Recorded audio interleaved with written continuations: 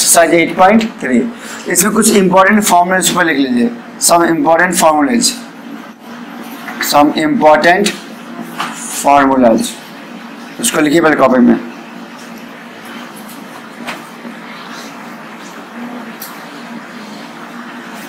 सम important formulas जैसे first आपका है sine 90 minus theta equal to cos theta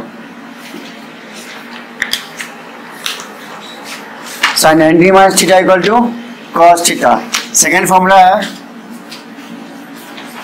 cos 90 minus theta equal to sine theta third tan 90 minus theta equal to cot theta. Fourth, cosec 90 minus theta equal to sec theta. Fifth,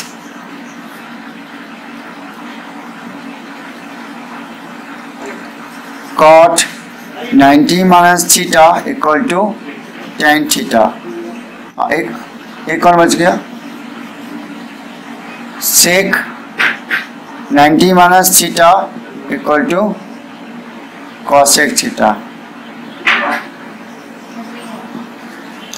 अगर ऐसे लिखा हो sign 90 minus two theta अगर यहाँ theta है, यहाँ भी क्या है?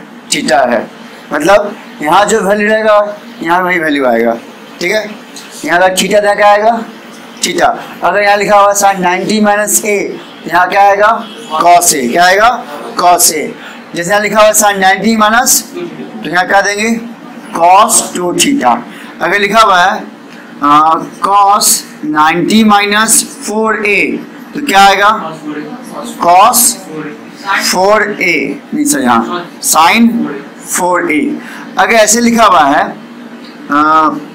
मान लो लिखा हुआ है sec sec A minus B sec A minus B इसको क्या मान लेंगे? पूरे को मान लेंगे? थीटा। क्या मान लोगे? थीटा। इसको लिखना होगा अगर लिखना होगा। कौशिक में तो क्या लिखेंगे? Cosec cosec 90 minus A minus A minus B. होगा? ये पूरा एंगल ना हो थीटा मानेंगे ना? क्या माने इसको? चीटा तो 90 माइनस ना होगा? 90 minus theta. Cosec cosec A minus twenty six degree.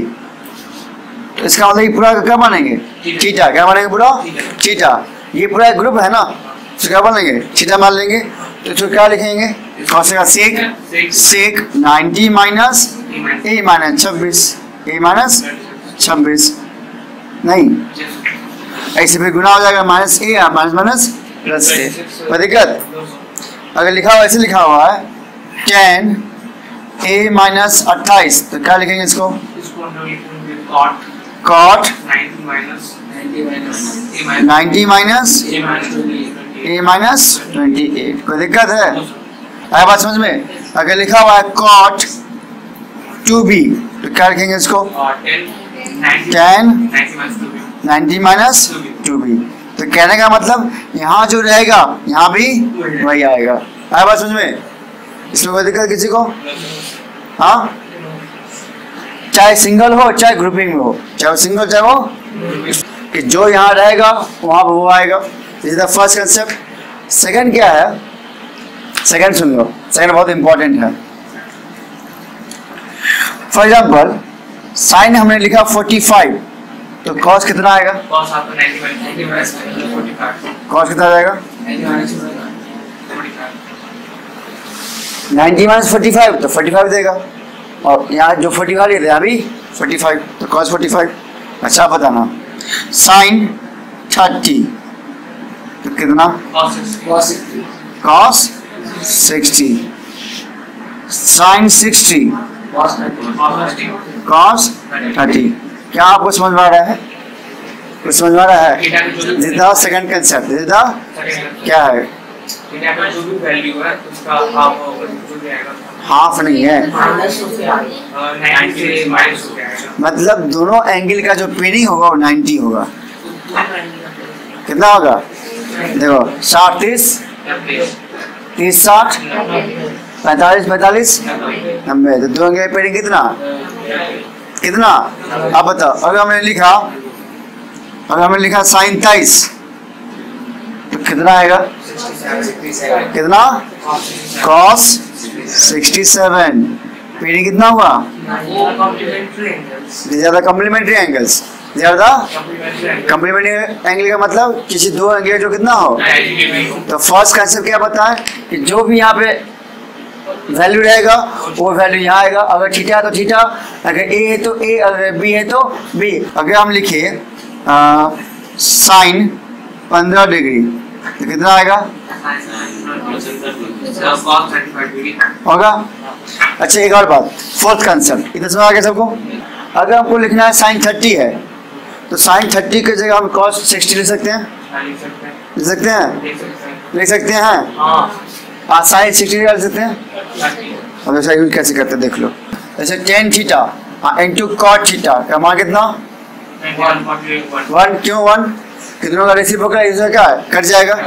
Cut जाएगा। ना? ये पी बाई बी और बी बाई पी तो पी से पी कैंसिल बी से पी कैंसिल सिंपल तो वैल्यू कितना? वन साइन थीटा इंटू किसका? वैल्यू क्या देगा?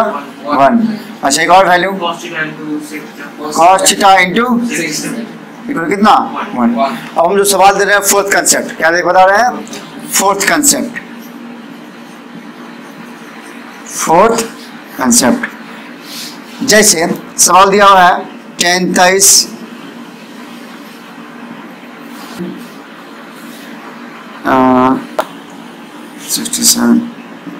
ठीक है?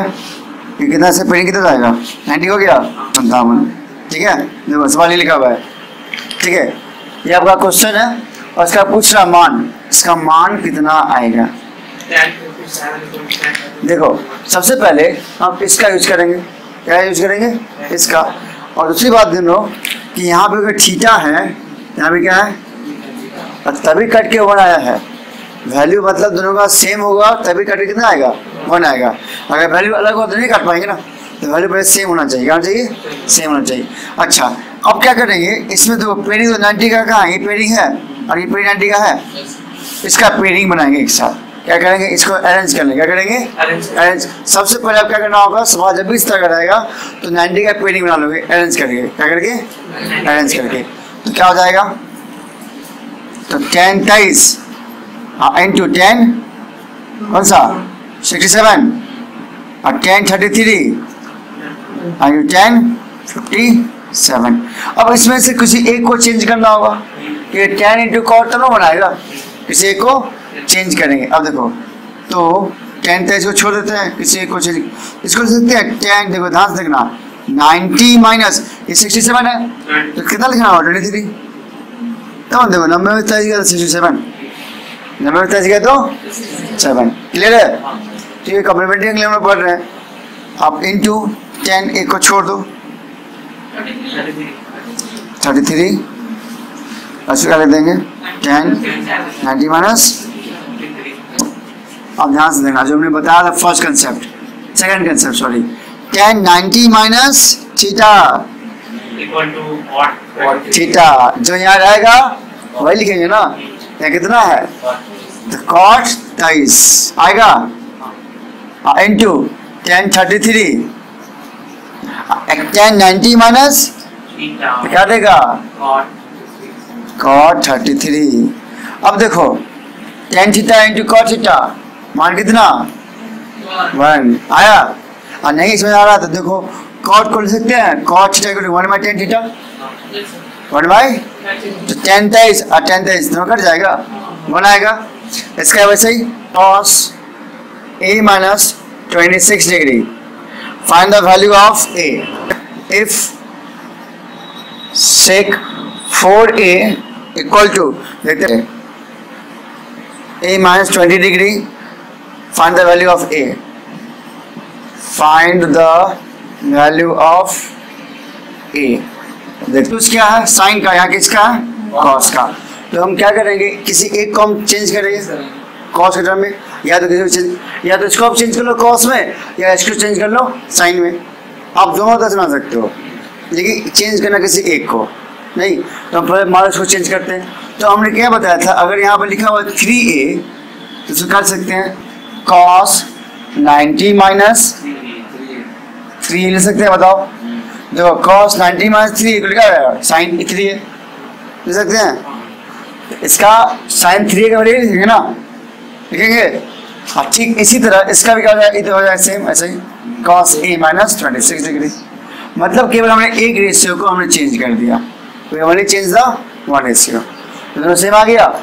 अब रेशियो सेम आ गया तो वैल्यू क्या होगा सेम तो ninety minus three A equal to A minus. आगे बताने की ज़रूरत तुमको नहीं लग रहा है। इसको उठा इधर इसको उठाकर इधर। ये 116 equal to four A. Therefore value of A equal to भाई कितना कट किया जाएगा? 29 डिग्री। क्या बन जाएगा सेकेंड? हाँ? बस यही था। मतलब रेशियो को हमें सेम रख करना था पहले। तो A minus 26 को हम सेम नहीं कर सकते। हाँ इसको भी हाँ।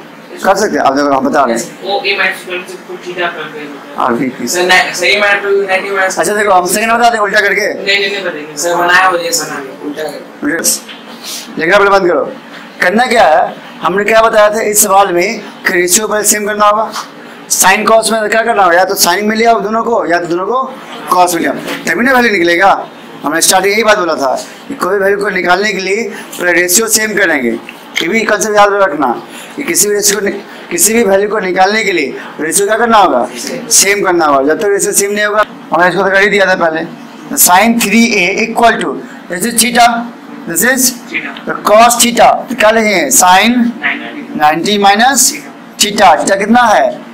A minus twenty six degree मतलब कहने का मतलब अगर वैल्यू ऐसे लिखा हुआ है sine 90 minus theta equal to cos theta इसके जगह इसको यूज़ करो या इसके जगह? इसको यूज़ करो। कर सकते ना? इसका इसके जगह या इसका? इसके जगह। तो कॉस थीटा की जगह हमने क्या यूज़ किया? ये यूज़ किया। क्या? तो साइन 90 माइनस थीटा तो यहाँ जो रहेगा यहाँ भी वही आएगा ना? आएगा? वही बात को यूज़ की यहाँ पे। हम वैल्यू सॉल्व करते हैं। तो साइन थ्री ए का रेशो यहाँ सेम हो गया? साइन इसको सॉल्व करेंगे अंदर। तो 90 minus A plus plus twenty six bracket बंद? साइन साइन हट जाएगा? Yes. बच जाएगा केवल? रेशियो सेम है तो। 90 अच्छा भी कितना एक सौ सोलह। 116 माइनस ए जाएगा इधर। कितना आएगा? फोर ए कितना? 116 हाँ इसलिए ए का कितना?